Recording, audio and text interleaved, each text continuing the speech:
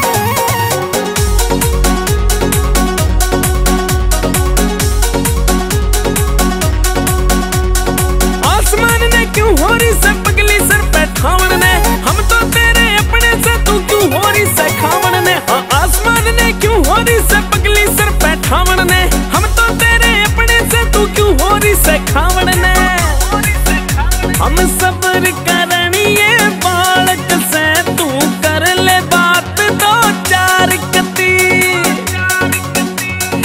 भरी भर